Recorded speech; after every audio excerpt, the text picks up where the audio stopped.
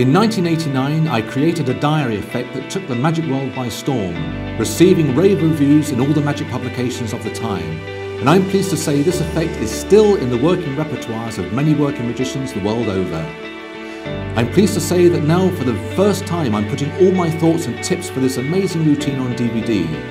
You can now perform my diary trick with absolutely no memory work, so you'll be performing this incredible effect in minutes.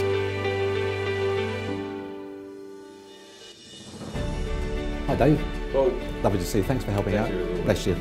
Now I've got two items on the table here. I've got a pack of cards and a diary, which I'll come back to in a moment. The first thing I'd like you to do is to shuffle. These are your cards, aren't they? Yeah. Give them a mix, buddy. Give them a good shuffle.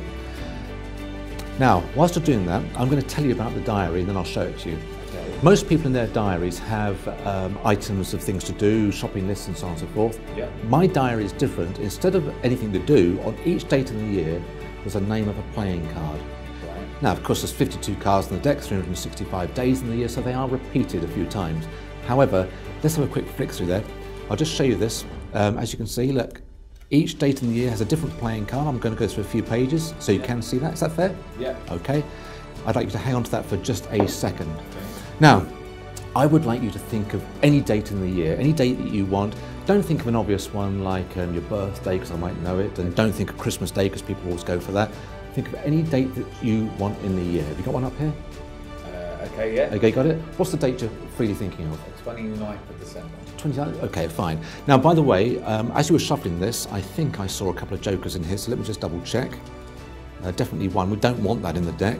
Um, okay, let's just get rid of that for a second.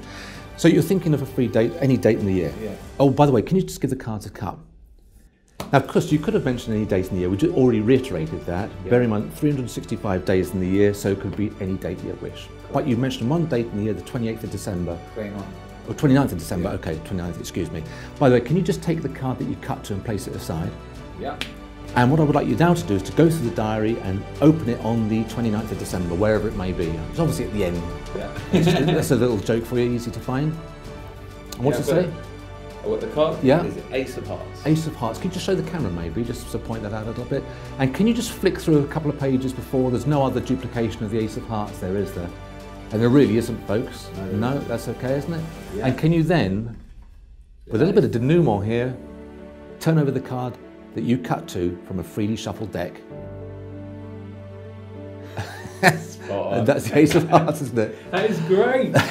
I love that. And You can flick through as much as you want. You're not going to Yeah, find that's the them. thing that's annoying me. I can. I love that, mate. Pleasure. Thank you. Really cool. Thank you. I'm Paul Gordon, and this is the Gordon Diary Trick.